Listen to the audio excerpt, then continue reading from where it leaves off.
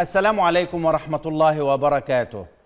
أحييكم من العاصمة التاريخية لتركيا مدينة إسطنبول وأرحب بكم في حلقة جديدة من برنامج بلا حدود. أصبح اسم فتح الله جولان يتردد في كل وسائل الإعلام العالمية في أعقاب المحاولة الانقلابية الفاشلة التي قام بها أنصاره في تركيا في الخامس عشر من يوليو الماضي. حيث وجه الرئيس التركي رجب الطيب أردوغان وأركان حكومته الاتهام المباشر له وطلبوا الولايات المتحدة التي يقيم فيها جولن منذ العام 1999 بتسليمه. وسعيا منا للتعرف على فتح الله جولن وجماعته وحقيقته. نلتقي اليوم مع كاتب سيرته الذاتية وأقرب تلامذته السابقين إليه. الذي لازمه أكثر من أربعين عاما وكان ينظر إليه على أنه نائبه الأول وخليفته المرتقب. لكنه انشق عليه وعلى جماعته في العام 2009 بعدما اكتشف حقيقة الرجل وجماعته وما يدعو إليه. ضيفنا هو السيد لطيف أردوغان وهو بالمناسبة لا يمت بأية صلة قرابة مع الرئيس التركي ولكنه تشابه في الأسماء. ولد لطيف أردوغان في أوشاق غرب تركيا عام 1956 أنهى دراسته الابتدائية في العام 1967 وهو نفس العام الذي تعرف فيه على فتح الله جولان ولازمه بعد ذلك ما يقرب من 45 عاما وكان ينظر إليه على أنه خليفته. تخرج في معهد الدراسات الإسلامية في إزمير عام 1978 أسس وقف الصحفيين والكتاب الأتراك عام 1994 وهو الوقف الأكثر أهمية في الدفاع عن فتح الله جولان ونشر فكره وكتبه وقد ترأس أردوغان مجلس إدارة هذا الوقف لمدة ثلاث سنوات.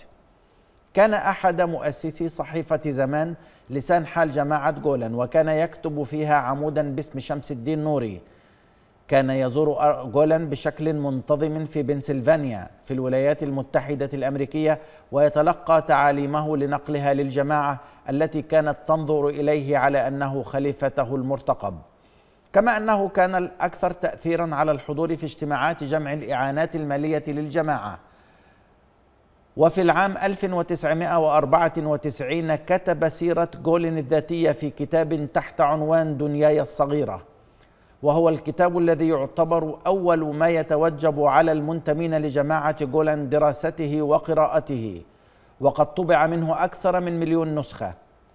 ورغم كون لطيف أردوغان أول تلامذة جولين إلا أنه كان الأكثر انتقادا له والأكثر اعتراضا على قراراته فضاقت به الجماعة ذرعا فأبعدوه إلى خارج تركيا ليتولى أمر الجماعة في الأرجنتين بين عامي 2001 و2004 ثم منعوه من الكتابة في صحيفة زمان حينما بدأ ينتقد الجماعة بشكل علني. في العام 2009 قرر لطيف أردوغان قطع علاقته بجولان والجماعة حيث دخلوا في عداوة معه كونه يعرف الأسرار الداخلية للجماعة والتنظيم. لكنه في العام 2013 بدأ يشن عليهم هجمات مباشرة ويحذر حكومة أردوغان منهم. وفي العام 2016 أصدر كتابه الوجه الضاحك للشيطان فتح الله جولان نحاول معه فهم شخصية فتح الله جولان وجماعته وتاريخه من الداخل. سيد لطيف مرحبا بك. شكرا جزيلا لك. من هو هذا الرجل الغامض فتح الله جولان Fethullah Gülen 1938 yılında Erzurum'da doğmuş. Bir müddet talebelik yaptıktan sonra askerliğe gitmiş. Edirne'de فتح الله جولان vazife yapmış. Sonra da ولد İzmir'e عام ثمانية وثلاثين في أرضروم tanıdım. وبعدما أنهى دراسته ذهب للتدريس في أدرنا. وبعدها انتقل إلى إزمير. وقد تعرفت. عليه في إزمير في العام Tabii o ثمانية günkü وستين şartlarda, حيث كان يعمل مديرا لأحد المراكز القرآنية. وفي نفس الوقت يعمل واعظا في إزمير. وأهم شيء ربطنا بفتح الله جولن هو بديع الزمان. سعيد النورسي. حيث كان جولن يقدم نفسه للمجتمع التركي من خلال النورسي. ولهذا كان يجد قبولا لدى الناس من خلال اعتماده على رسائل النور لسعيد النورسي. لكن جولن استخدم هذا الأمر وسيلة ليكون جماعته الخاصة به. حيث تخلى عن رسائل النور وبدأ يعمل من أجل جماعته في العام واحد وسبعين. وقد بدأ ينشر أفكاره الخاصة وسط المجموعات الصغيرة التي كانت تتبعه. لكنه كان يتظاهر بأن مصدره رسائل النور التي كان يستخدمها حينما يقدم نفسه للناس في أماكن جديدة مثل الولايات المتحدة حيث كان يتظاهر بأنه من حملة رسائل النور. وقد كتب هذا علي اونال بشكل واضح في كتاب أصدره عن جولين والسبب في هذا يعود لأن رسائل النور كانت تعتمد على الكتاب والسنة كمصدر أساسي. ولا توجد به جملة واحدة مخالفة للقرآن والسنة. هل يمكن هل يمكن أن تعرف المشاهدين العرب بمن هو بديع الزمان سعيد النورسي الذي استخدمه واستغل اسمه وجماعته جماعة النور فتح الله جولا ليصل بها إلى قلوب الناس.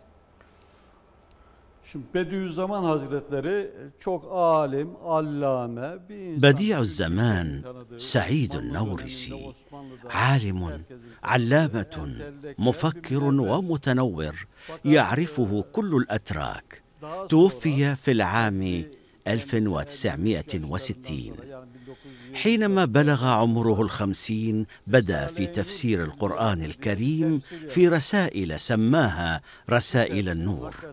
وهذا التفسير مثير جدا من خلال النتائج التي يصل إليها حيث يقدم من خلال هذا التفسير كل شيء يحتاجه الإنسان في هذا العصر. كما أن هذا التفسير يحتوي على جوانب معرفية وإيمانية وكذلك جوانب من الحكمة. وقد كان لبديع الزمان سعيد النورسي حضور وقوة روحية ينجذب الناس من خلالها إليه. لكن فتح الله جولن ليس لديه هذه القوة وهذا الحضور. لذلك قام باستثمار قوة رسائل النور وما فيها لجذب الناس إليه. لكنه حينما انتقل للإقامة في الولايات المتحدة انتهت صلته برسائل النور فضعفت علاقته بالمجتمع التركي. ما الذي جذبك في البداية إلى فتح الله جولان وجعلك أقرب تلامذته إليه؟ أنا كنت طالبا في جمعية تنشئة الطلبة المعروفة باسم سوق الكستناء وقد تعرفت على فتح الله جولن من خلالها. سنة كم؟ 1968 ben 11 yaşındaydım o في 68 وكان عمري وقتها أحد عشر عاما. وقد أحبني وأحببته في هذه المرحلة حيث كان أستاذي. وكنت أقرب الطلبة الي لكني كنت طالبا جريئا فرغم حبي له. كنت أنتقد السلوكيات التي أرى أنها خاطئة. ماذا انتقدت في هذه الفترة؟ ما الأمور السيئة التي رأيتها في هذا السن المبكر؟ bu tamamen kişisel yanlışlar da olabilir. Mesela kamplarda من الممكن أن تكون هذه الأخطاء فردية وشخصية في ذلك الوقت مثل استخدام العنف ضد الطلبة خلال التدريس وممارسة الضغوط على الطلاب خلال الحلقات العلمية وخلال المخيمات.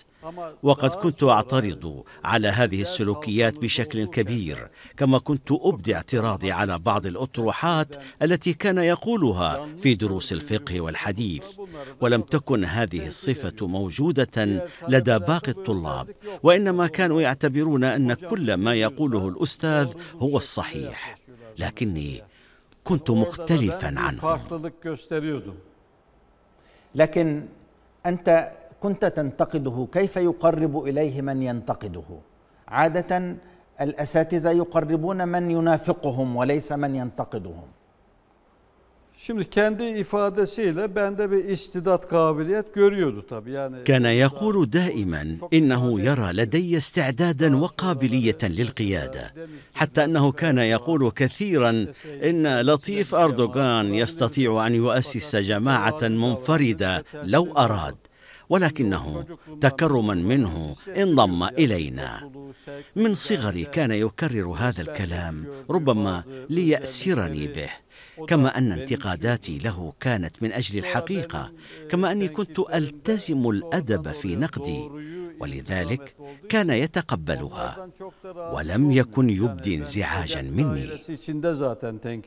متى بدأ تأسيس الجماعة؟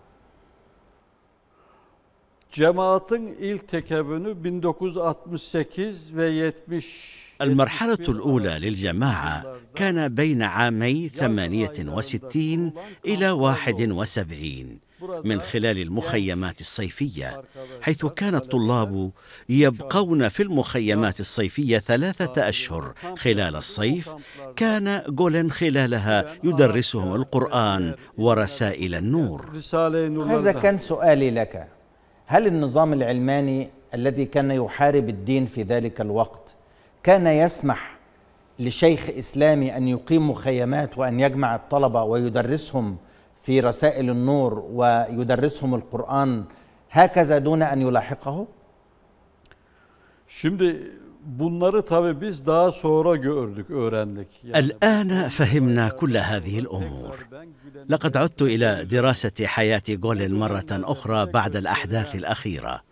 وأدركت أن غض الطرف عن الجماعة في تلك المرحلة كان ضمن مخطط النظام العلماني الحاكم لتأسيس الجماعة والتحالف معها حيث أصبح للجماعة فروع في كل دول العالم تقريبا.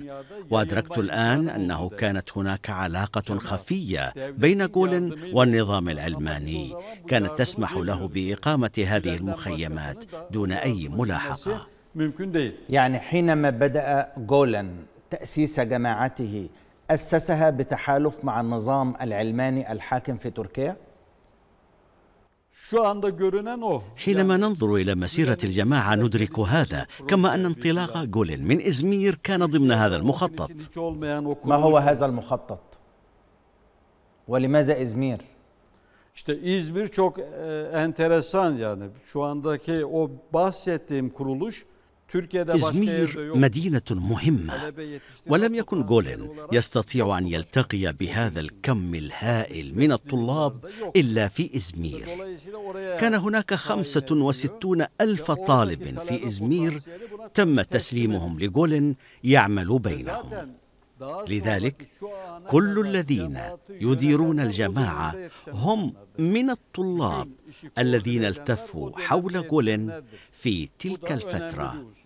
وتبعوه في إزمير قل لي لماذا إزمير لماذا إزمير وليس إسطنبول أو أنقرة أو ادنا أو أنطاليا أو أي مكان آخر لماذا إزمير İzmir stratejik bir yer. İslami e, إزمير مكان استراتيجي من الناحية الإسلامية والخدمات. لا يوجد شخص يمكن أن يكون منافسا لجولن في إسطنبول وأنقرة. كان هناك علماء ودعاة كثيرون يتحلق الناس حولهم. لكن إزمير كانت خالية فأصبحت لجولين ولهذا السبب؟ ظهر بسرعة وتحلق الناس حوله فكون جماعته دون منافسة من أحد.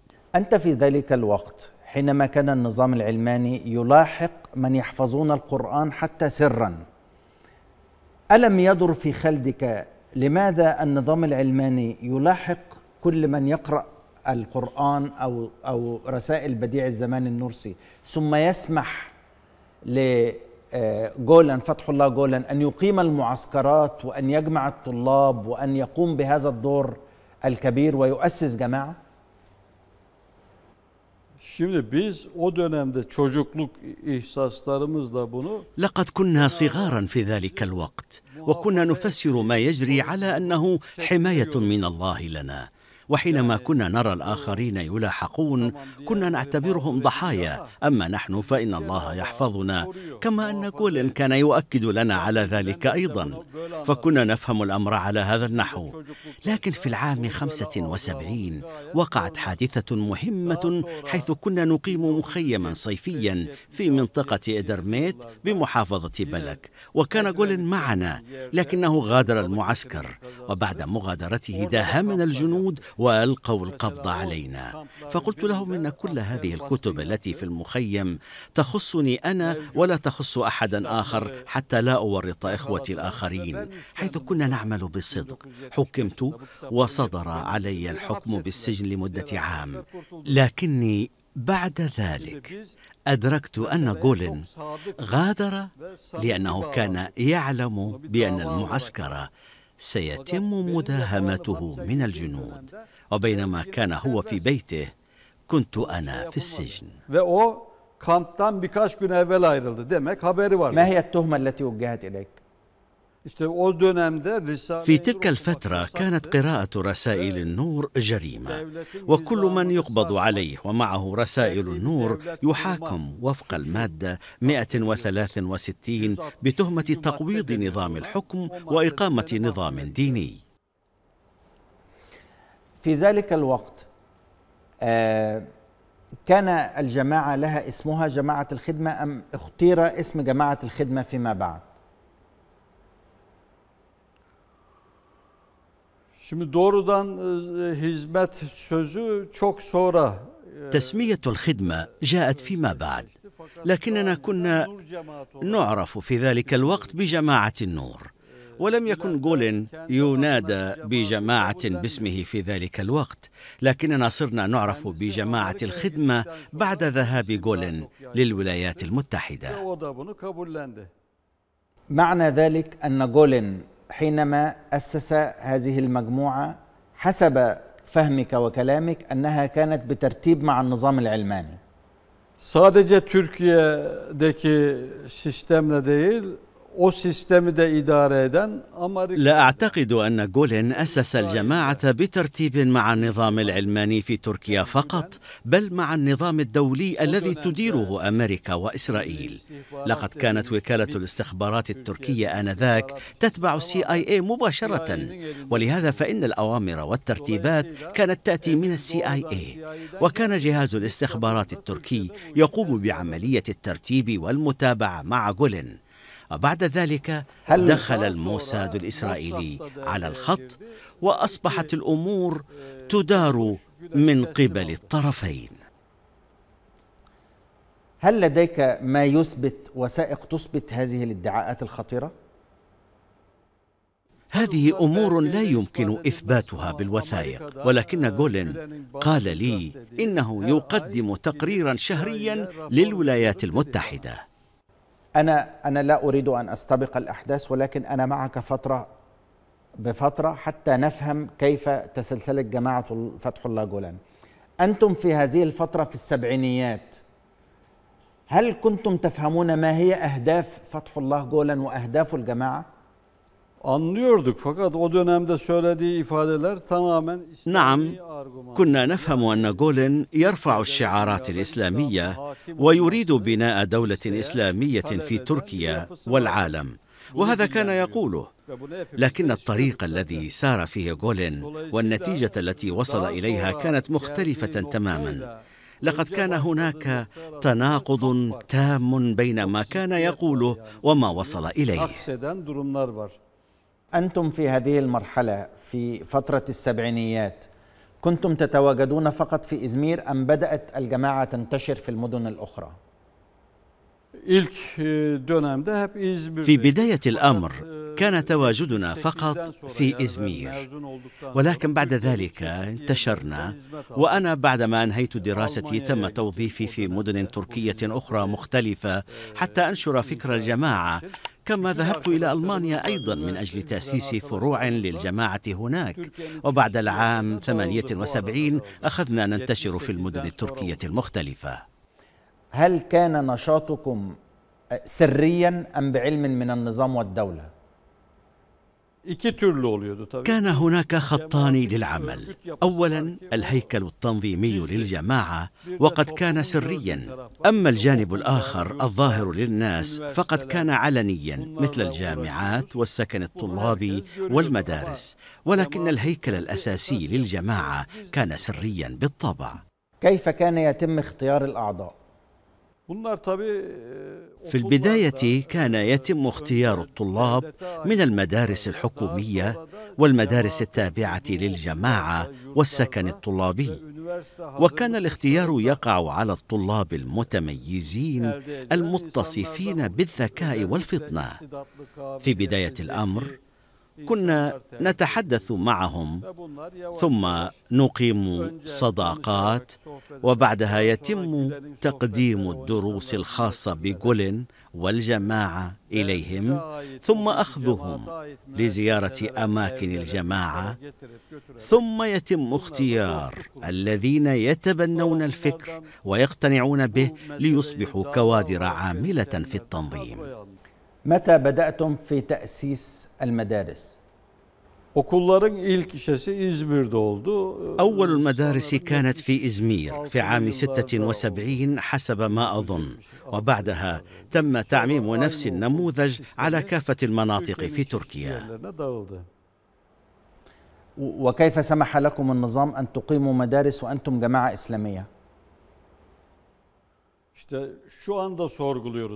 أنا تساءلت بعد ذلك عن هذا الأمر حيث كنا نعتقد أن الدولة لا تعلم فقد كنا نقدم التعليم العام ونتخفى وراء هذه المؤسسات التعليمية. لكني اليوم أدركت أن النظام العلماني كان يعلم كل شيء لأن الفترة التي انتشرت فيها مدارسنا كانت بعد انقلاب كنعان إيفيرين في العام 80 ihlal'inden sonra oldu. آه، المدارس كانت تحمل اسما واحدا أم في كل مدينة اسم مختلف؟ في كل منطقة كل مدرسة لها اسم مختلف هل هذه المدارس كانت مدارس خاصة أم تتبع المنهج الدراسي للدولة؟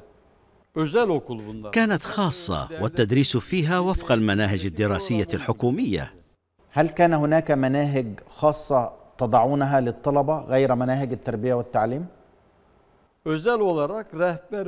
كان. المعلمون التابعون للجماعة يقومون بانتقاء الطلبة الناضجين لضمهم للتنظيم من خلال الدروس والأنشطة الإضافية كيف كان شكل التنظيم؟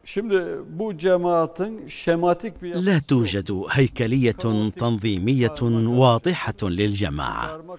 ولكن هناك هيكلية مختلطة. وهذه التركيبة المختلطة للتنظيم لا يعرف أحد غير جول خيوطها.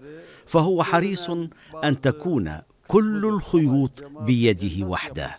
وهو الذي يعرف كل تفاصيلها. يعني المنظمة عبارة عن منظمة فوضوية ومنظمة في نفس الوقت. نعم ولدى جول وحده القوة والخيوط التي تمسك بكل شيء. فقط فتح الله جولن هو الذي لديه كل الخيوط للتنظيم؟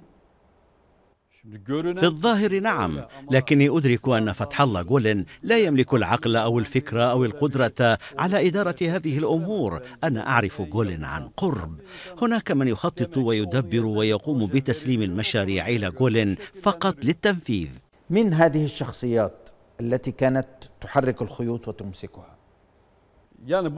من خلال نظرتنا لهذا الموضوع نقول انها القوى العالميه حيث نطلق عليها مسمى العقل الكبير وأنا ارى انها السي اي اي والموساد ومن الممكن ان يكون لبريطانيا دور في بعض الجوانب في المشروع التعليمي أنت كأنما تحدثني عن جماعة سرية ماسونية خطيرة غامضة لها شكل ظاهر ولها شكل خفي لا يعلمه إلا آه، أشخاص مخفيون Bütününü bazı insanlar değil sadece gülen bilir. لا أحد من الأعضاء يعلم شيئا عن الجماعة إلا الجانب الذي يخصه كل يعرف الجانب الذي يعنيه فقط.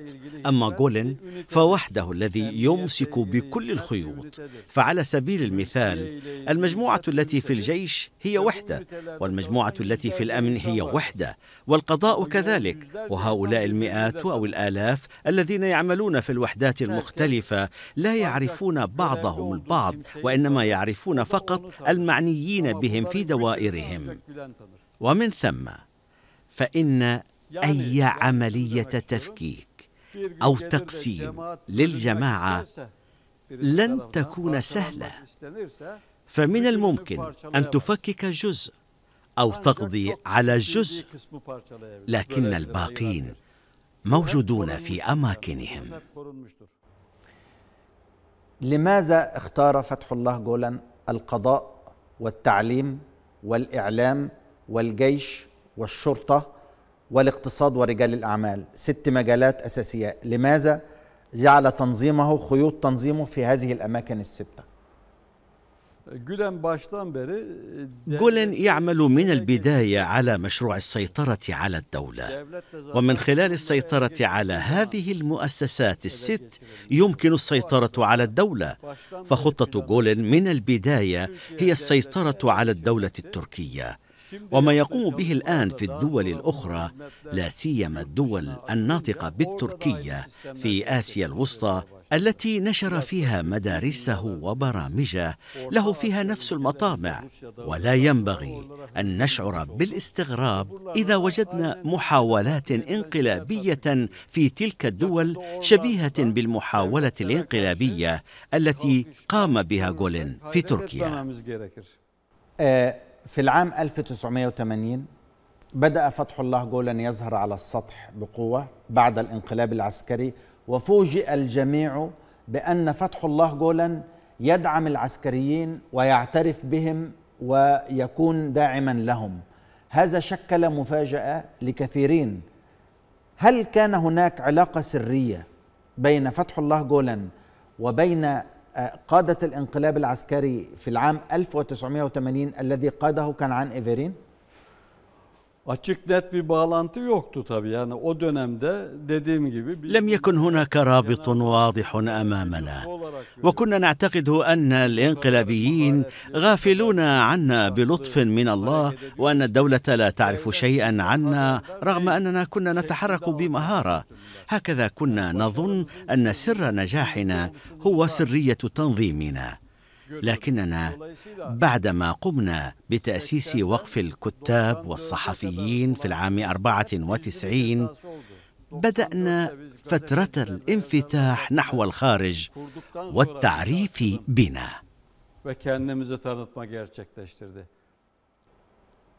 لا أريد أن أستبق الخطوات أنا الآن في انقلاب 1980 بعد انقلاب 1980 بدأ فتح الله جولان ينتشر ويأخذ قوة في المجتمع. ما طبيعة علاقة جولان بانقلاب 1980 وقائد الانقلاب كان عن إيفرين. Şimdi bana kendi anlattığı kadarıyla حسب ما Kenan Evren فإن أحد أصدقائه ويدعى يعقوب كان عديلا لكنعان إيفرين وأنه أخبر إيفرين بأن جولين شخص جيد وأن كنعان إيفرين قال لقريبه إذا كان جولين شخصا جيدا فعليه أن يتخفى ولا يظهر علنا في الأوساط المختلفة. هذا الأمر أخبرني به جولين شخصيا. معنى ذلك أنه كان هناك تنسيق. بالتأكيد قبل الانقلاب أم بعده. بعد الانقلاب.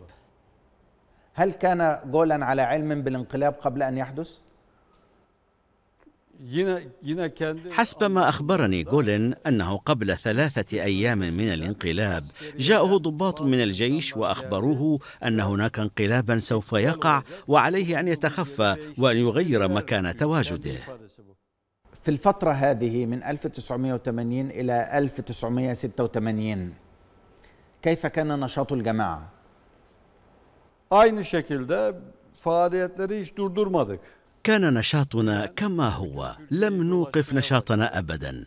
كان جولين يتجول في المدن التركية ويزور المحافظات المختلفة وبعض الناس كانوا يأتون إليه في المقر في إزمير.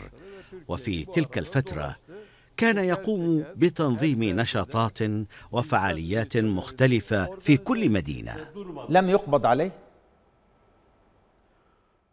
وقع في أيديهم عدة مرات ثم كانوا يتركونه وحينما نتساءل كان يقول إن إطلاق سراحه كان لطفا من الله تعالى كيف نجح فتح الله جولان في أن يجعل كل مريديه وتلامذته الذين حوله لا يسمعون ولا يرون Şimdi tabii Gülen'e çok ciddi bir güven var. هناك جماعة حول جولين يرون doğru كل ما يفعله هو الصحيح.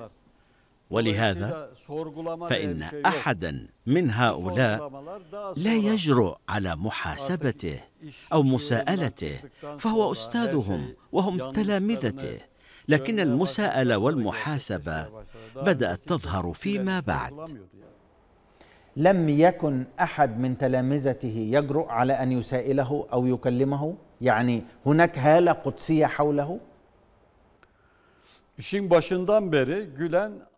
منذ bir ساد اعتقاد. من قبل الملتفين حوله أن جولن هو ولي من أولياء cemaat الله. ثم بعد ذلك olduğunu يلقبونه. بالمسيح.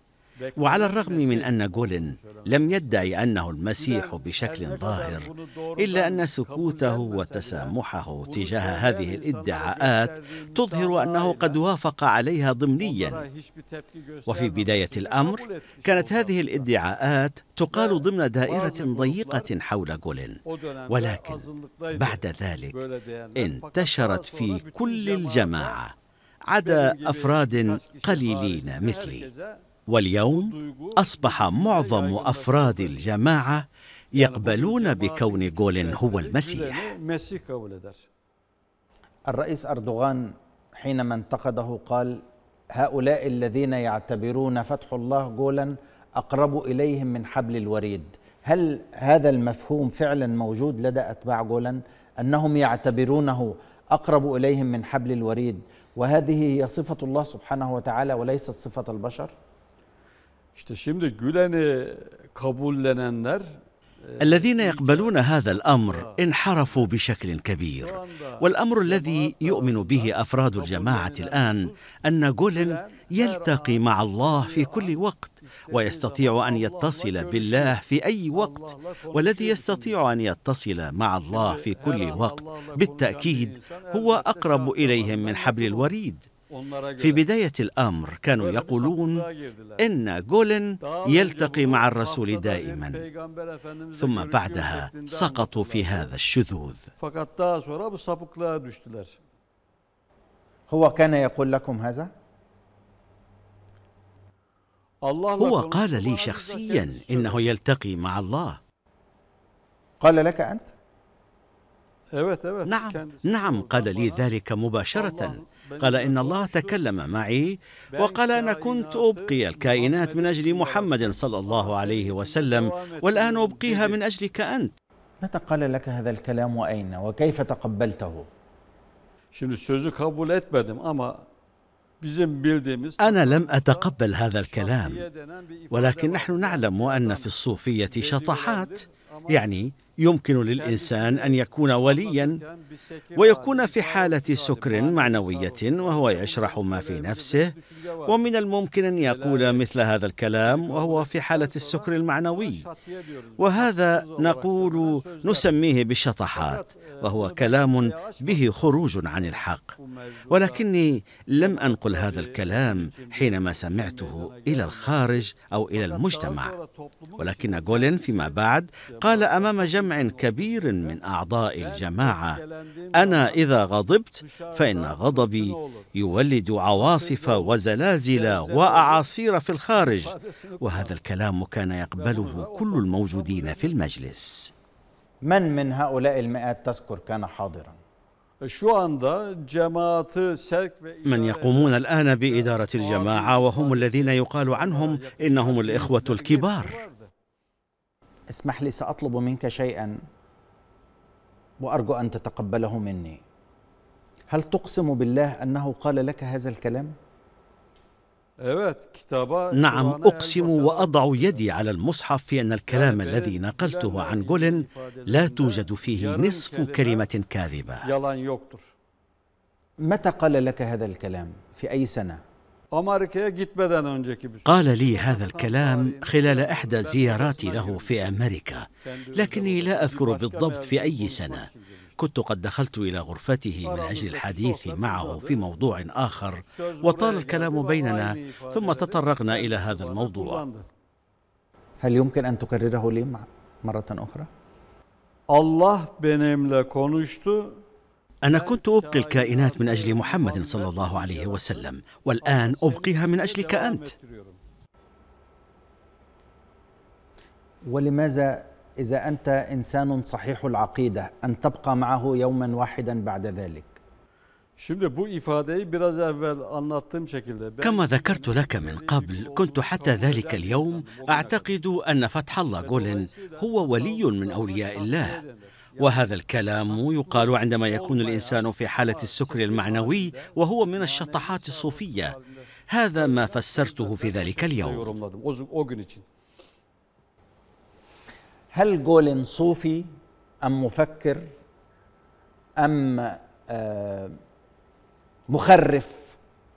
أين هو في في في هذا الموقع؟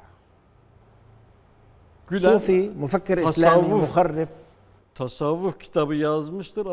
هو. كتب كتابا في التصوف ولكنه ليس صوفيا فهو يعادي التصوف بشدة فعندما كنت في الولايات المتحدة كان يستخدم كلمات شديدة جدا ضد التصوف فاستغربت كثيرا لأنه كان دائم القول إنه لا يوجد دين دون تصوف.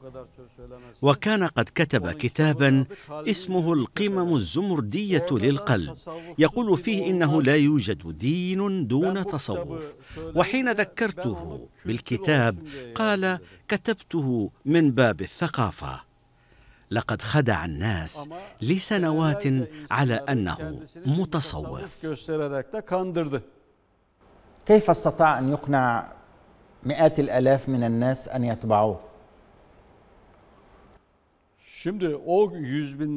مئات الآلاف الذين يتبعون جولن لا يعرفون عن الإسلام إلا ما يقوله لهم لا يعرفون أي معلومات إسلامية بخلاف ما يقوله. لذلك فهم يقبلون كل ما يقوله لهم. لذلك فإن المسائل والأقوال التي تتعلق بانحرافه والتي عرفناها فيما بعد مثل فتاوى لأتباعه من المنخرطين في الجيش والشرطة بأن يخلعوا الحجاب وأن يشربوا الخمر وأن يمارسوا الزنا. هذا هو أفتى؟ هل هل آه، آه، فتح الله جولان أفتى لأتباعه في الجيش والشرطة أن يقوموا بهذه الأفعال؟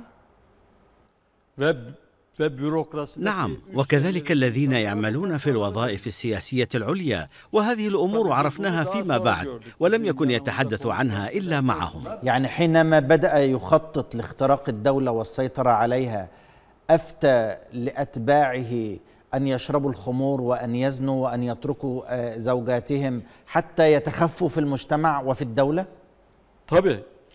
kendinizi gizlemek için takiye. طبعا من أجل أن يتخفوا في المجتمع أعطاهم رخصة التقية مثل التقية الموجودة عند الشيعة. إذا ليس هناك إسلام في المسألة. Kesinlikle الآن فهمنا كل شيء. إن ما كان يقوله جولن في البداية لم يكن سوى مسرحية والرجل ليس لديه أي أفكار أو هموم إسلامية وكل همومه هي السيطرة على الدولة وترأسها وإدارتها. ما الذي استفاد به جولن من انقلاب 1980 وما الذي أفاد به الانقلابيين؟ 80 darbesinden sonra Gülen'in بعد انقلاب العام 80 فتح الطريق أمام جولين وجماعته كما أشرت من قبل تم غض الطرف عن رجال جولين داخل الجيش وكذلك داخل الشرطة كما تم غض الطرف عن تدخلاته في السياسة. لكننا لم نكن نعلم أن هذا كان باتفاق معه. كنا نعتقد أن ما يجري هو نجاحات لنا. يعني عملية اختراق منظومة الدولة بدأت بعد انقلاب 1980 Şimdi devleti ele geçirmesine ruhsat verildi ama bunu سمح له أن يسيطر على الدولة ولكن ليس باسمه بل باسم الولايات المتحدة الأمريكية. وتم استغلال الدولة لصالح الولايات المتحدة وهذا ما نراه الآن. فحين ننظر إلى كل ما يقوم به نجده في صالح الولايات المتحدة الأمريكية. أنت أنت كالشخص الثاني القريب حوله في ذلك الوقت أقرب تلامذته إليه لم تفهم في ذلك الوقت أي تفاصيل عن هذه اللعبة التي تجري إن كانت لعبة؟ Şimdi أنا تكلمت قبل خمسة عشر عاما من الآن وقلت إن الجماعة وقعت في أيدي قوى أجنبية تحركها وبدأت أقاوم هذا الأمر من داخل الجماعة. لكني في البداية فسرت الأمر على نحو أن فتح الله جولن محتجز في الولايات المتحدة وأن الفريق الذي يدير الجماعة هو المتورط في هذه المسألة. لكني أدركت بعد ذلك أن جولن على رأس فريق الخونة. وحينما وقعت محاولة الانقلاب الأولى بين السابع عشر والخامس والعشرين من ديسمبر 2013 أدركت أن جولن على رأس العصابة الخائنة من هنا بدأت أعارضه بشكل علني. كيف كان حينما تتحدث مع جولان في ذلك الوقت تلك الفترة لازمته أربعين عاما كتبت سيرته الذاتية كيف كانت رؤيته لإسرائيل؟ هناك غرام وحب من نوع خاص بين جولين وكل من أمريكا وإسرائيل. وكان يفسر هذا الحب في البداية على أنه نوع من السياسة ويقول إذا لم تكن علاقتنا جيدة مع كل من الولايات المتحدة وإسرائيل فإننا لن نستطيع أن نقوم بنشاطنا في أماكن مختلفة من العالم. وبهذا الشكل كان يفسر دعمه وقربه من أمريكا وإسرائيل. ولكن في المرحلة التالية أصبح حبه لهما مبدئيا واساسيا بالنسبة له ولأتباعه. من الذي كان يوجه طلبة المدارس للالتحاق بالكليات؟ أنت تذهب إلى الحقوق أنت تذهب إلى الكلية العسكرية أنت تذهب إلى كلية الشرطة أنت تذهب إلى كذا. من الذي كان يوجه هذا؟ ويظل يتابع الشخص إلى أن يتخرج ويعين في المكان المعين. Şimdi bununla ilgili kadrolar vardır, çalışmalar vardır. Bu kadrolar كانت هناك كوادر متخصصة بهذا الموضوع تقوم بكل الإجراءات الأولية التي ينبغي أن تحصل ولكن مرحلة القرار النهائي كانت بيد جولن فقد كانوا يعدون التقارير حول الأشخاص ويقترحون الكليات التي يتوجهون إليها. وإن وافق جولن يتم توجيههم لها. كما أن القيادة العليا في الجماعة تصدر قرارا بأن العام كذا ينبغي أن يشهد توجها أكبر نحو الحقوق أو الجيش أو الشرطة. وبناء عليه تقوم الجماعة بتوجيه من اختارتهم. هل شعرت في أي وقت من الأوقات في ذلك الوقت فترة الثمانينات حينما بدأ بدأت عملية التوجيه للطلبة للانغراس هل كنت تشعر بأن هناك أشخاص غرباء لا تعرفهم يأتون لزيارة جولن يجتمعون به يسافر زيارات سرية للخارج؟ Açıktan bir şey görmedik ama 94'ten sonra yani لم نرى شيئا بشكل ظاهري. ولكن بعد العام 94 بعدما أسسنا وقف الصحفيين والكتاب بدأت كل قطاعات المجتمع تأتي إلى جولن لتلتقي به. وفي المرة الثانية التي ذهب فيها إلى الولايات المتحدة لأنه بقي هناك بعد المرة الثالثة.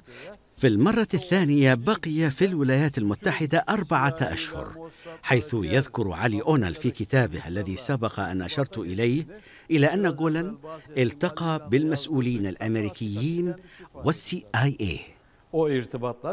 في العام 1994 بدأت مرحلة مهمة في تاريخ جماعة جولن وهي تأسيس وقف آه، الصحفيين والكتاب الذي أسسته أنت وكنت رئيسا لمجلس إدارته لمدة ثلاث سنوات ما هدف هذا الوقف؟ Evvela bu vakfın kurucusu benim.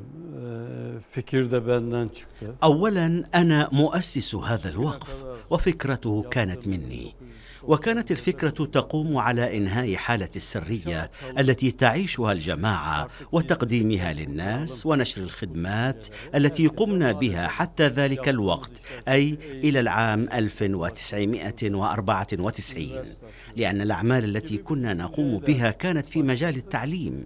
كنا نقوم بافتتاح المدارس والجامعات ومن خلال هذه الفكرة أنشأنا الوقف حيث رفض جولن في البداية فكرة الوقف ثم اقتنع بصعوبة.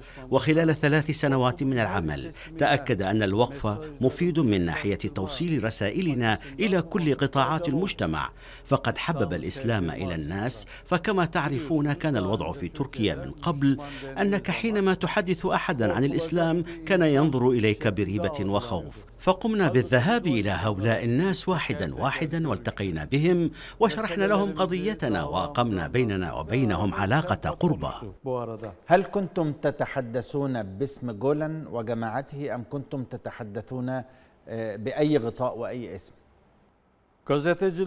Yazarlar كنت رئيس وقف الصحفيين والكتاب لكن جولن كان الرئيس الفخري ولهذا لم نكن نقدم اسم جولن إلى الناس حينما نتحدث إليهم. لكن كنتم تتحدثون باسم آه، وقف الصحفيين والكتاب وليس باسم جماعة جولن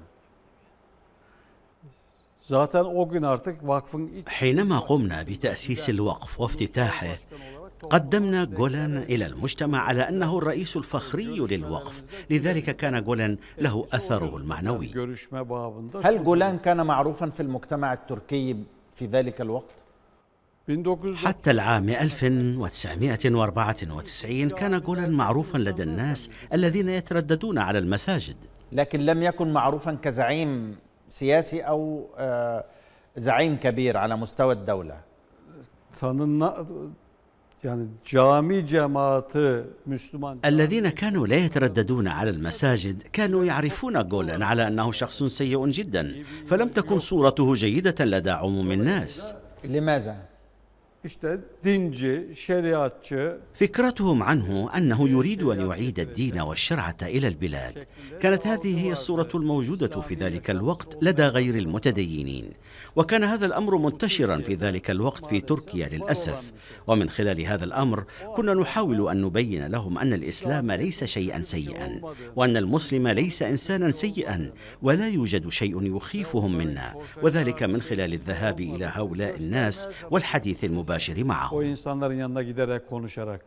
ما اسمح لي. ما شكل الإسلام الذي كنتم تقدمونه إلى الناس؟ وأنا من تتبعي آه، لكم حتى هذه المرحلة الصورة آه، ضبابية. رؤيتكم للإسلام رؤية ضبابية أصلاً.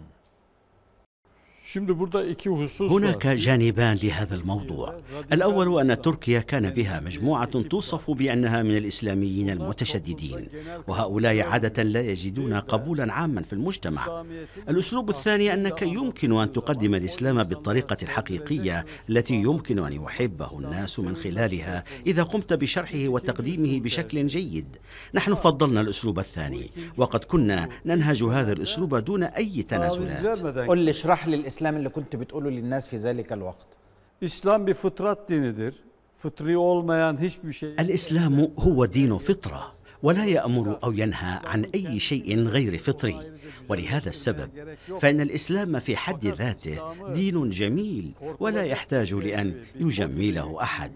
ولكن كنا نستخدم اسلوبا تجاه الذين ينظرون إلى الإسلام على أنه فوبيا وتجاه الذين لم يهضموا الإسلام بشكل صحيح. أما عن مقدار صحة أو خطأ هذا الأسلوب فهذا موضوع آخر. ولكن من ناحية الحقائق في تركيا فقد كان هذا الأسلوب مفيدا في ذلك اليوم. لكن الخطأ الذي وقع فيما بعد أن جولن حاول تقديم الإسلام للناس من خلال التنازلات. وكما قلنا في الحلقة السابقة. قال إن الحجاب من فروع الإسلام ثم أعطى رخصة لبعض أتباعه ألا يصلوا وأن يشربوا الخمر. عدم الصلاة؟ طبعا. هو كان يصلي؟ kılar. هو يصلي. ولكن الموجودين في الجيش والشرطة حتى يقوموا بإخفاء أنفسهم أفتى لهم بعدم أداء الصلاة. أنا الآن أريد أن أفهم منك شيئا. الجماعة بقيت سرية إلى العام 1994 Evet. نعم. حينما أسستم وقف الصحفيين والكتاب هؤلاء كانوا صحفيين وكتاب الجماعة أم صحفيين وكتاب من كل تركيا؟ في الأصل كانت أعداد الصحفيين والكتاب العائدين للجماعة قليلة جدا. نحن استخدمنا الاسم في المعنى العام من أجل فتح حوار مع الصحفيين والكتاب الآخرين ومن أجل شرح خدمات الجماعة لهم. هؤلاء كانوا يعلمون هؤلاء كانوا يعلمون أن هذا الوقف يتبع جماعة فتح الله جولان السرية. كان من المعروف أن هناك علاقة مع جولن وكانوا يتفهمون هذا الأمر حينما في ذلك العام 1994 أنت كتبت سيرة فتح الله جولان الذاتية أنا كتبتها في عام 1990 وتم نشرها في عام 1994 على هيئة كتاب من خلال دور النشر. فتح الله جولان أي شخص يكتب سيرة ذاتية لشخص آخر لابد أن يلازمه وأن يسمع منه تفاصيل حياته الدقيقة هل فتح الله جولان سمح لك وأعطاك تفاصيل حياته الدقيقة؟ Şimdi başta anlaşmamız e, ben كان اتفاقنا في البداية أن أنشر الكتاب بعد موته. ولهذا فقد روى لي كل شيء عن حياته لأضمنه الكتاب. لكنه قال لي أيضا إن هناك أمورا لم يخبرني عنها وهناك مواضيع وأسرار لن يتحدث عنها وسوف تذهب معه إلى قبره. ولكن من خلال البحث قمت بجمع المعلومات عن الأشخاص الموجودين حول فتح الله كولن بدءا من فترة طفولته حتى ذلك الوقت من أقاربه ومعارفه حتى والدته التقيتها وأخذت معلومات منها ومن الآخرين وهذه المعلومات لم أنشرها لكنها موجودة عندي في أرشيفي الخاص ولا توجد عند أي شخص yok. هل لاحظت شيئا غير عادي؟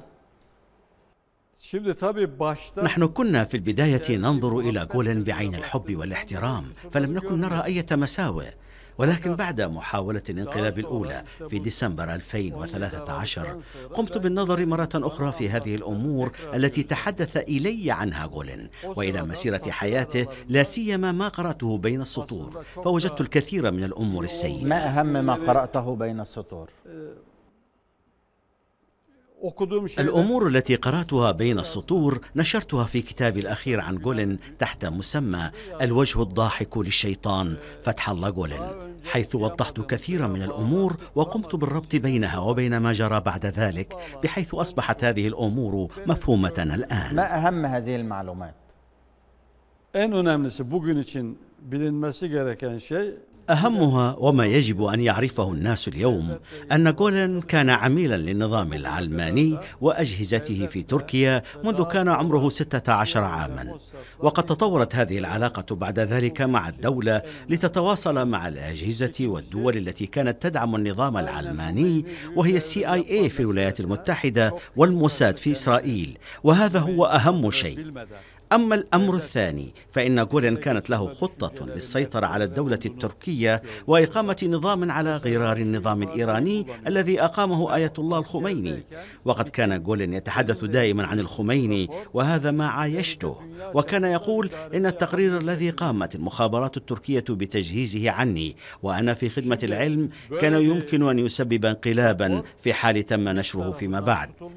والقصة هنا إذا كان هذا التقرير الذي تحدث عنه كولين قد أعد من قبل الاستخبارات أو لم يتم هذا موضوع آخر. لكن أن تقوم المخابرات التركية باطلاع كولين على تقرير أعد عنه وإيصال هذه المفاهيم إليه مبكرا فهذا موقع تساؤل. وقد بدأت خطة كولين منذ كان عمره عشرين عاما لإقامة نظام إسلامي عالمي تديره أجهزة الاستخبارات ليكون خليفة للعالم الإسلامي. لذلك أطلقت عليه الجماعة إمام الكائنات. آه، في حواري مع الناطق الرسمي باسم الرئاسة التركية الدكتور إبراهيم كلن قال إن الخلاف الرئيسي بين أردوغان وفتح الله جولان بدأ في العام 2010 حينما أصر فتح الله جولان أن يعين رئيس المخابرات التركية من أحد رجاله. Şimdi Tayyip Erdoğan'ı baştan beri hiç sevmezdi zaten Gülen. فتح الله جولن لا يحب رجب الطيب أردوغان من أول يوم وسبب هذه الكراهية يعود إلى كراهيته أيضا لنجم الدين أربكان أستاذ أردوغان جولن لم تكن له علاقة جيدة مع كل الذين مارسوا السياسة باسم الإسلام مباشرة أو من خلال فلسفة الإسلام كانت علاقته أفضل دائما مع غير الإسلاميين ولأن رئيس الجمهورية أردوغان نشأ على مدرسة نجم الدين أربكان فقد وقف جولن دائما على مسافة منه. كما أن جولن عارض فكرة قيام حزب العدالة والتنمية أيضا. ووقف ضدها ولم يقبل بها. ولكن بعد فوز حزب العدالة والتنمية لم يجد بدا من التواصل معه من أجل استخدامه لتحقيق أهدافه وقد استخدمه بالفعل. لكن الخلاف لم يبدأ في العام 2010 فجولن من البداية لم يكن صادقا مع أردوغان لكني أعتقد أن رجب الطيب أردوغان مسلم صادق جدا فتح الطريق أمام جماعة جولن وتسامح معهم اعتقادا منهم أنها جماعة مسلمة أفرادها يؤدون الصلاة وفرائض الإسلام. لكني في إحدى اللقاءات التي جمعتني مع الرئيس أردوغان قال إنهم خدعوه لكني في تلك الفترة أنت قابلت رجب الطيب أردوغان وشرحت له تفاصيل الجماعة من الداخل؟ التقيت به منذ كان رئيسا لبلدية إسطنبول لكن وقتها لم تكن هذه الحقائق واضحة لكن حينما أصبح كل شيء واضحا أبلغته وأبلغت قيادات العدالة والتنمية أن أطماع جولن لا نهاية لها. آه كنت تراه وهو رئيس بلدية في 95 لكن لم تتحدث معه. تواجدنا في الكثير من الأماكن ولكن لم نتحدث في هذه المواضيع. لكن خليني هنا أنا أعود إلى السيرة الذاتية. هل طلب منك هل روى لك بعض الأشياء وطلب منك عدم نشرها في السيرة الذاتية بعد ذلك؟ Yani baştan sonra zaten istediği oydu. من البداية إلى النهاية كان هذا ما يريده ألا ينشر شيء إلا بعد موته. ولكن بعد إنشاء وقف الصحفيين والكتاب قلت له إن على المجتمع أن يتعرف عليه بشكل جيد وهذه السرية لا يمكن أن تستمر. فوافق لكننا لم ننشر من سيرته الذاتية إلا عشرة في المئة فقط مما رواه لي. يعني أنت كتبت في آه، آه، الكتاب 10% فقط من المعلومات التي أخذتها منه؟ باقية. والتسعين في المئة؟ Türk dünyam كلها. باقية في أرشيف الخاص كلها. متى تنشرها؟ Bütününü نشرها في هذا الوقت ليس له معنى. فجولن لم يعد له أي قيمة أو مكانة في المجتمع. ولكن إذا أراد أحدهم أن يتعرف على محتويات هذه المعلومات فيمكنني اطلاعه عليها. هل يمكن تعطيني نموذج واحد م... نموذج واحد مثال واحد لبعض الأشياء التي لم تنشرها وتعتبر أشياء خطيرة في سيرته الذاتية؟ işte bütün bu askeri yapılanma, emniyet كل التشكيلات السرية داخل الجيش والأمن العام وداخل الدوائر السياسية كل هذه الأمور موجودة تحت يدي ولم أنشرها في أي كتاب. هل أعطيتها للدولة حتى يعرفوا تفاصيلها؟ 17 Aralık طبعا بعد محاولة انقلاب السابع عشر من كانون الثاني 2013 يعني كل verdi. أعطيتهم كل شيء وقمت بالإجابة على كل الأسئلة التي وجهت لي هل آه، آه، بعض الأشخاص الذين زرعوا في العام 80 81 و 85 شاركوا في المحاولة الانقلابية الأخيرة؟ Şu anda bu gerçekleşen darbenin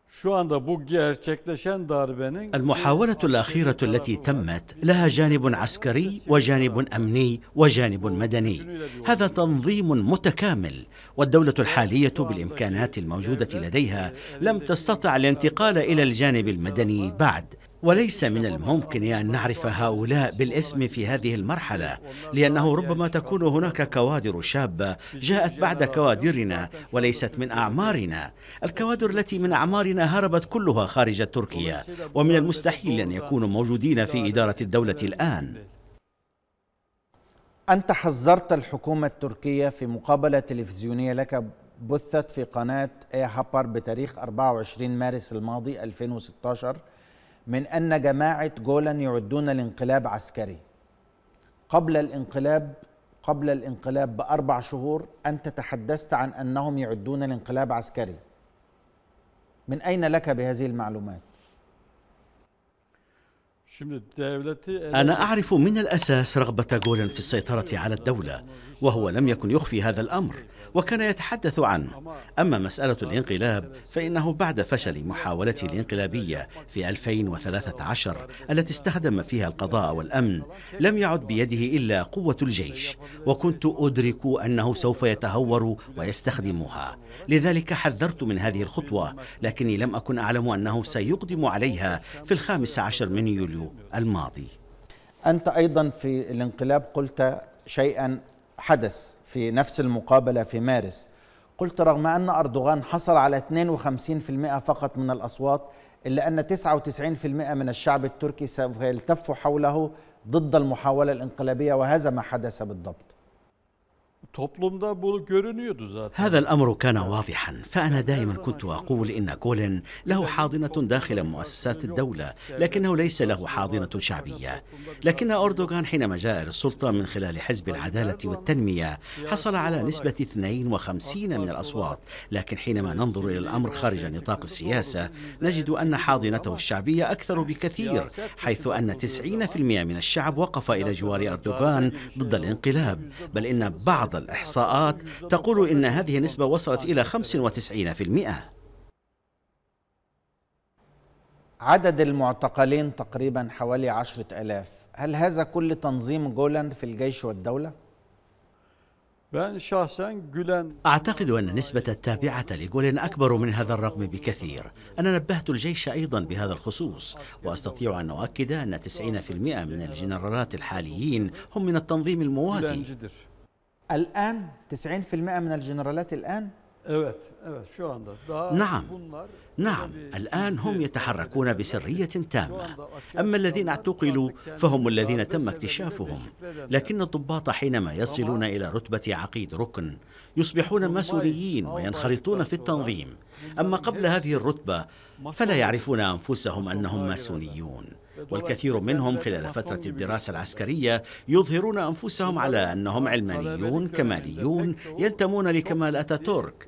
لذلك فإن غربلة هؤلاء والتعرف عليهم أمر صعب الآن.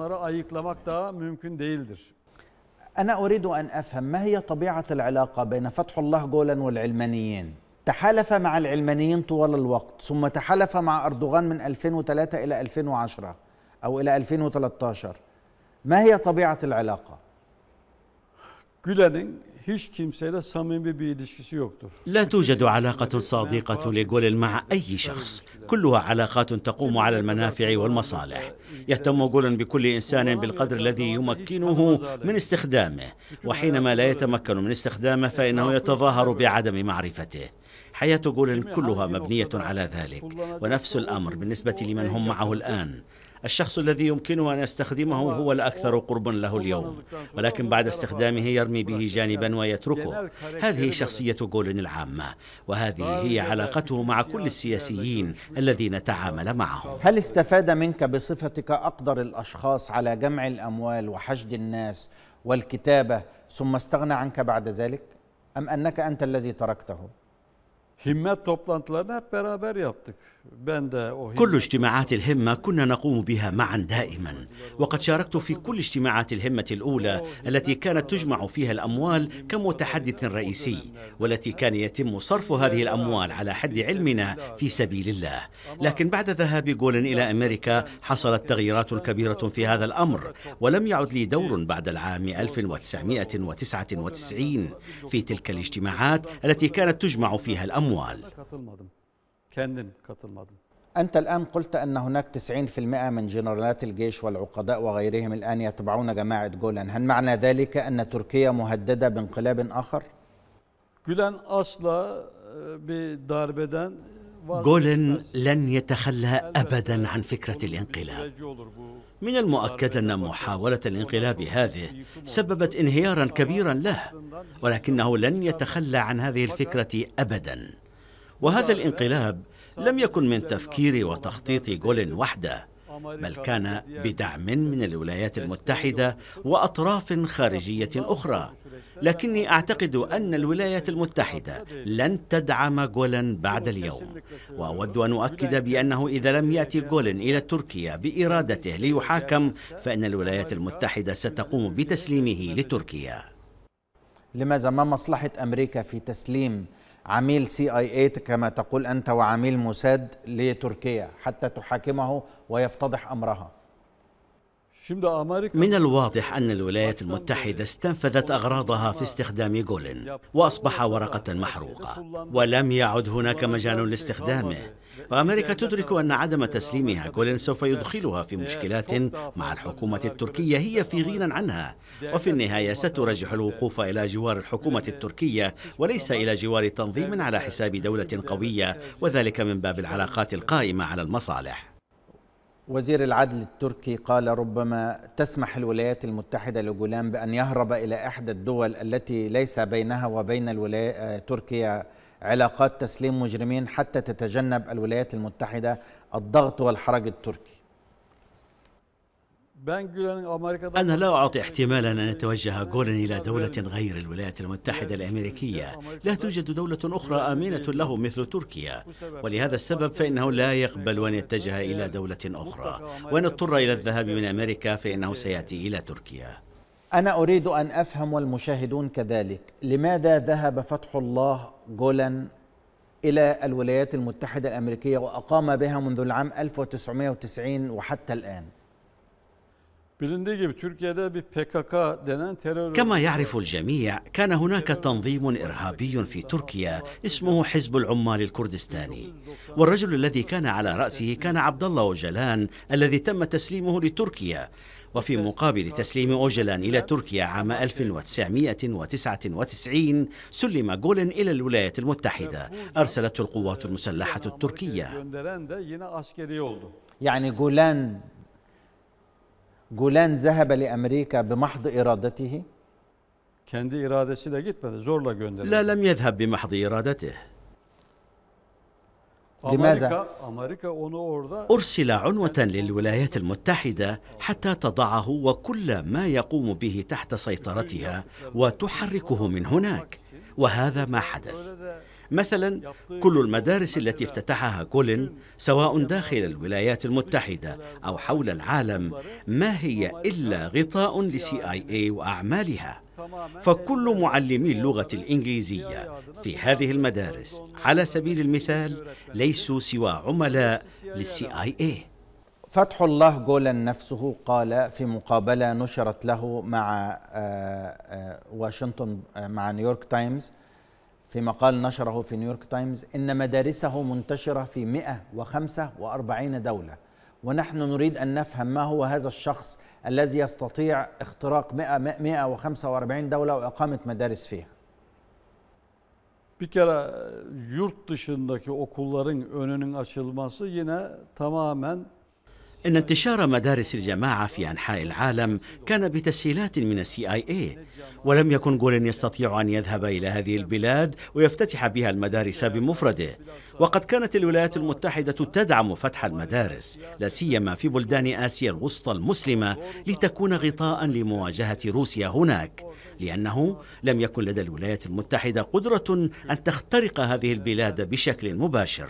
ولذلك أدخلت العنصر التركي عن طريق جولين وجماعته ومدارسه حيث وفر جولين عن طريق مدارسه والعناصر العاملة بها نقطة ارتكاز واستقرار للولايات المتحدة وأنشطة ال CIA verildi. يعني تريد أن تقول أن ال 145 دولة التي يقيم فيها فتح الله جولان مدارسه كما كتب هو في نيويورك تايمز هي عبارة عن غطاء لل CIA تعمل من خلال هذه المدارس في الدول التي ربما لا تستطيع اختراقها بشكل مباشر Evet evet. aynen نعم. نعم بالضبط Aynen öyle. هناك مدارس كثيرة لفتح الله جولان في دول عربية. Şimdi İslam alemindeki bütün أما في العالم الإسلامي فقد أعطت سي آي إي مهمة مراقبة كل الحركات الإسلامية في هذه البلاد إلى جماعة جولين عن طريق المدارس التي فتحوها في تلك الدول. وذلك حتى تكون غطاء لمراقبة الحركات الإسلامية الموجودة هناك. ولأن معظم الحركات الإسلامية وقياداتها في العالم الإسلامي يعتقدون أن جماعة جولن جماعة صادقة لذلك فإنهم يقومون بمشاركتهم وإطلاعهم على كل أسرارهم التي تصب مباشرة لدى آي إي من هنا فإن الولايات المتحدة تعمل في اتجاهين. الأول دعم جماعة جولن وتقديمها كنموذج للإسلام المتحضر الناجح من خلال المشاريع المختلفة التي تقوم بها مع إيقاف المشروعات التي تقوم بها الجماعات الأخرى. ومن ناحية ثانية تقوم باستخدام جماعة جولن لمراقبة كل الأنشطة والتحركات التي تقوم بها الجماعات الإسلامية الأخرى. مناهج هذه المدارس ليست مناهج إسلامية. بالتأكيد لا توجد برامج إسلامية في أي واحدة منها أصلاً. مناهج علمانية عادية. طبعا في تركيا وفي الدول الأخرى تقوم بتدريس المناهج المخصصة في تلك الدول. أنت زرت فتح الله جولان في بنسلفانيا حيث يقيم. ذهبت مرات كثيرة. ممكن تصف لنا المكان الذي يقيم فيه؟ Son hali daha yapılmamıştı. Yani bu son görünen حينما كنت أتردد عليه في البداية لم يكن المجمع الذي يقيم فيه الآن والذي يشبه القصر قد اكتمل بناؤه حيث أن آخر زيارة لي إليه كانت قبل عشر سنوات. كانت هناك الكثير من البيوت المكونة من طابقين للضيوف القادمين من الدول المختلفة وكان جولن يعيش في إحداها. لماذا لم يتزوج فتح الله جولان إلى الآن Kendisi bunu çok e, başka vesile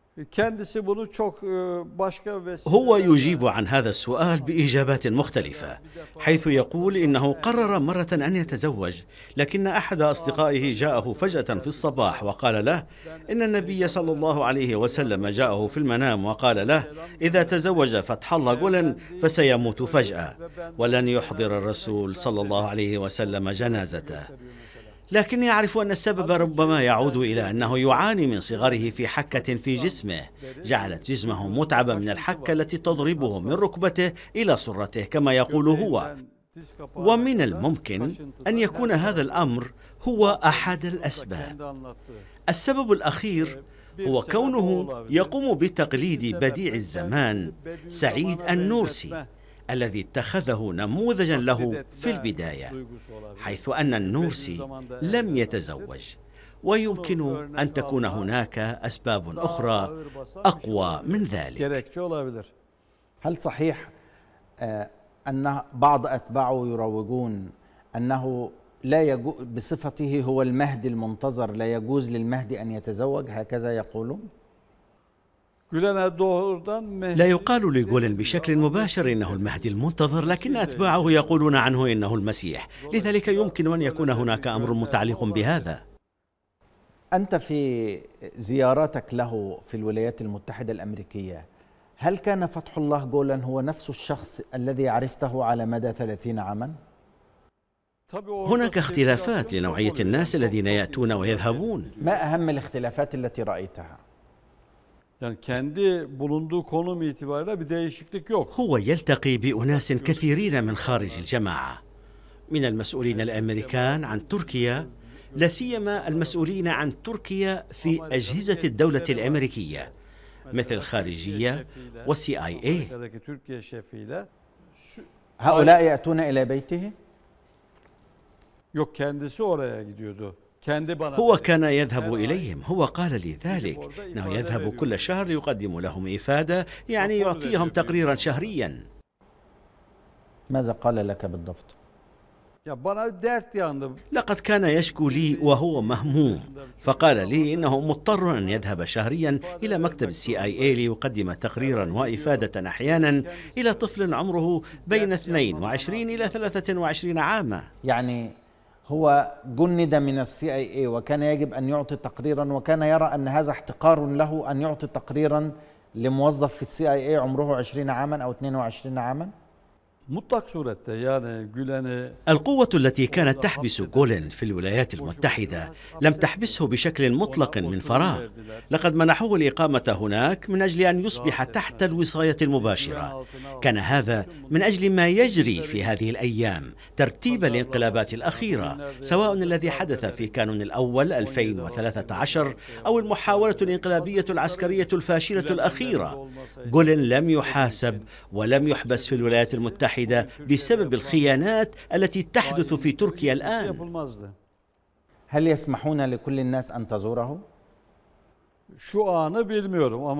لا أعرف الوضع الآن لكني أذكر أننا حينما كنا نقدم طلبات الحصول على تأشيرات من السفارات الأمريكية كان الإفصاح عن أن السبب هو زيارة فتح الله جولن كفيلا بالحصول على تأشيرة زيارة الولايات المتحدة هنا في تركيا Türkiye نعم في تركيا. أنت حينما أخذت فيزا لأمريكا أخذتها وقلت لهم أنك ذاهب لزيارة فتح الله جولان؟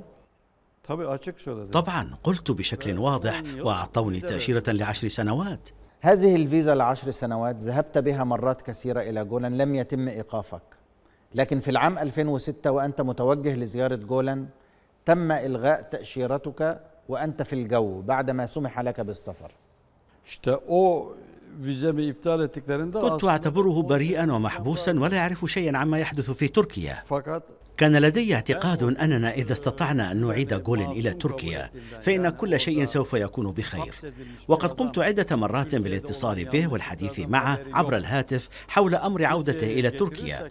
فعلت ذلك رغم علمي أن هواتفي يجري التنصت عليها. ثم قررت استخدام قوتي الشخصية في إقناعه بالعودة إلى تركيا عبر الذهاب مباشرة إلى الولايات المتحدة وإقناعه بالعودة.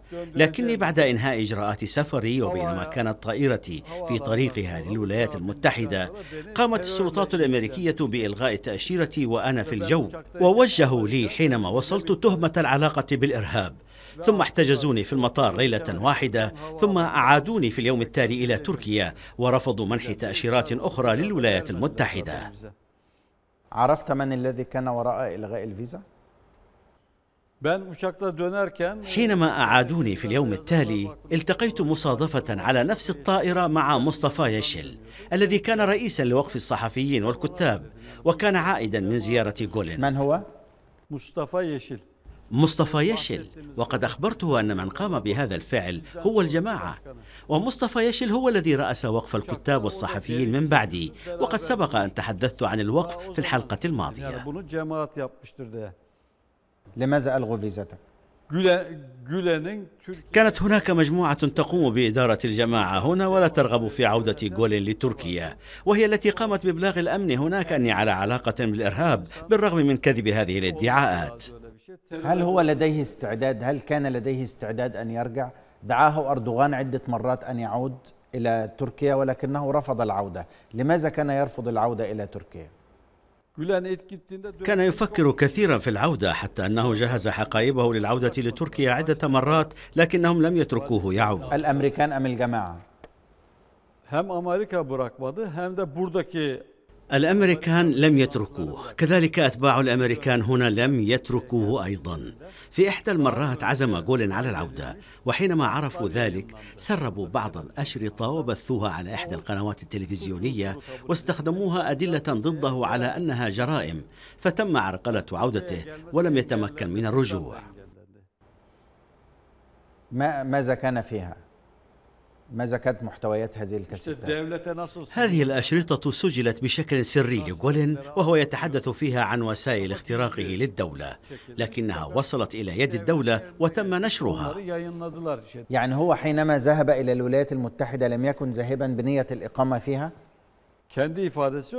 هذا حسب ما يقول هو حتى أنه قال إنه كان يقصر صلاته برخصة السفر لاحتمال أن يعود إلى تركيا في أي وقت. أفهم منك الآن. أن جولين حياته منذ 16 عاما كانت تحت سلطة الاستخبارات التركية في نظام الدولة العلماني وهم الذين صنعوه ووجهوه ورتبوا كل هذه السيناريوهات. بعد ذلك التقطته السي آي اي والموساد واقام علاقات معها حسب روايتك أنت.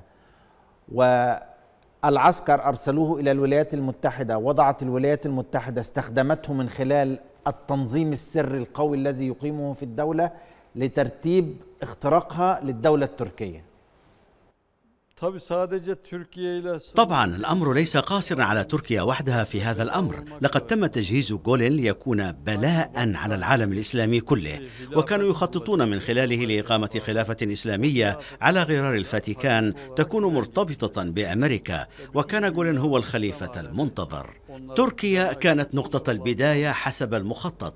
ثم يصبح العالم الإسلامي كله تحت السيطرة. هذه كانت خطتهم. هل معنى ذلك أن الانقلاب الفاشل الذي جرى في تركيا كان هدفه أبعد من تركيا خريطة المنطقة كلها؟ نعم العالم الإسلامي كله. وهل صحيح أنه تم الإعداد لإعادة فتح الله جولا على عودة عودة الخميني إلى إيران إذا نجح الانقلاب؟ كانت كل الاستعدادات تجري في هذا الاتجاه. وكانت الجماعة أيضا كما سمعت أنا فيما بعد من بعض المقربين منها تعد لعودة جولين بحشد ثلاثة ملايين شخص يكونون في استقباله في المطار. لقد أخبرني جولين بنفسه بعد قيام الخميني بانقلابه أنه في يوم من الأيام إذا أصبح هناك مليون شخص جاهزين لاستقباله في المطار كما استقبل الخميني فإننا يومها سنقوم بمحاولة انقلابية. أريد أن أسألك شيئا الجماعات الماسونية والحركات السرية لهم طريقة يعرفون بعضهم بعض بس بطريقة السلام وطريقة الكلام هل جماعة جولان لديهم طريقة سرية يعرفوا بعضهم البعض في الأماكن المختلفة؟ doğrudan genel kitleyle ilgili لا توجد هناك طقوس معينة في التعارف ولكن يمكن للجميع أن يتعارفوا مع بعضهم البعض من خلال كلامهم وأسلوبهم. ولكن في المراتب العليا في الجماعة الذين قاموا ببيعة جولين بشكل مباشر وحلفوا أمامه هؤلاء يعرفون بعضهم البعض لأنهم يعملون ضمن دائرة صغيرة جدا. عدد الذين أعطوا البيعة لجولين كم تقريباً؟ Şu anda sayısını bilemem ama لا يمكنني الآن أن أعرف عددهم لأن البيعة تم تعميمها فيما بعد بشكل كبير لا سيما في الجيش والأمن العام والقضاء. لقد تم الاهتمام بهؤلاء بشكل خاص وهم جميعا ممن بايعوا جولن بحلف اليمين لا سيما الذين قاموا بالانقلاب. ما محتويات هذا القسم الغليظ؟ Ediyor Gülen'e يقسم على الولاء لجولن ويحلف بالطلاق الأبدي لزوجته إن خان جولن إنه يجبرهم على القسم بالطلاق. والذي يخالف أو يخرج من الجماعة مثلك هل يتعرض لعقوبة؟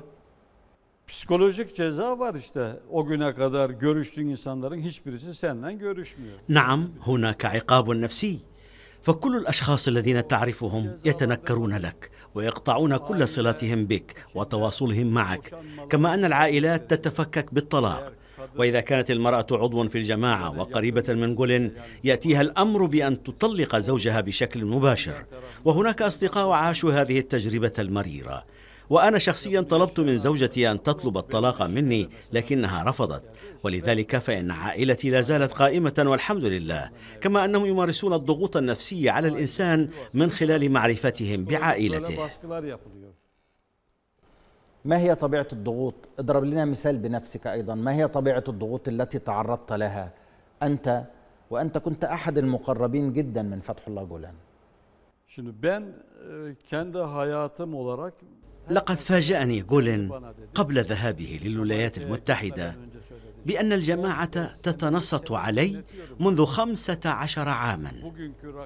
وقد مر على هذا الأمر الآن اثنان وثلاثون عاما وهم يتنصتون على هواتفي وبيتي. هذا ما قاله جولن لي كنوع من الضغط. عليك أنت؟ طبعا هذا ضغط علي وعلى عائلتي يتنصتون على هاتفي وهاتف بيتي. يعني أنت أنت نائبه وهو يتجسس عليك؟ يطلب من عملاء آخرين أو من أعضاء آخرين يتجسسوا عليك؟ طبعا. وينقلون له المعلومات؟ وقد قدم لي مبررا على هذا الأمر حيث قال لي إنني من أوائل الموجودين داخل الجماعة ولا يجوز لك أن تقع في أخطاء لذا فإنني أقوم بالتنصت عليك حتى إذا وجدتك قد وقعت في أخطاء أنبهك إليها. وحينما بدأت أعارضه بشكل علني بعد محاولة انقلاب السابع عشر من كانون الأول أصبح يمارس الضغوط المباشرة تجاه عائلتي حيث أرسل عددا من نساء الجماعة للضغط على زوجتي حتى تطلب الطلاق مني. وقد رفضت زوجتي وهذا ما أدى للحفاظ على بيتي. يعني أنا أريد أسألك أيضا سؤال مهم. كيف يسيطر على الناس ويحولهم إلى شبه عبيد له وللتنظيم؟ Çocuk yaşta ele alındığı için يأخذون هؤلاء وهم أطفال في أعمار صغيرة بين 12 و 13 عاما. يتم أخذ هؤلاء في هذا العمر ويقدم لهم جولن كرجل عظيم. ومن خلال العبارة التي أشرت لها من قبل وهي أن جولن يتحدث من الله فإن هذا بالنسبة لطفل صغير أمر كبير جدا وخارق. وإن اعتقد الطفل في ذلك فإنه يرتبط به رباطا أبويا دائما. ومثل هذه الكوادر هي التي تجد طريقها للتقدم والارتقاء داخل الجماعة. كما يتم مساعدتهم في الحصول على الوظائف المميزة. أما الذين يبايعون كولين دون أن يحلفوا له فلا يمكن أن يصلوا للمراتب العليا في الجماعة أو يتم مساعدتهم للحصول على الوظائف المميزة في الدولة.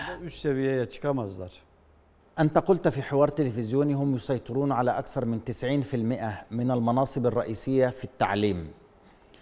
تقارير كثيرة قالت إنهم اختاروا المدارس للتجنيد والتخطيط والسيطرة على ال... وأنهم كانوا يعطون الامتحانات والإجابات لطلباتهم حتى يصبحوا هم المتفوقون ما دقة هذه المعلومات؟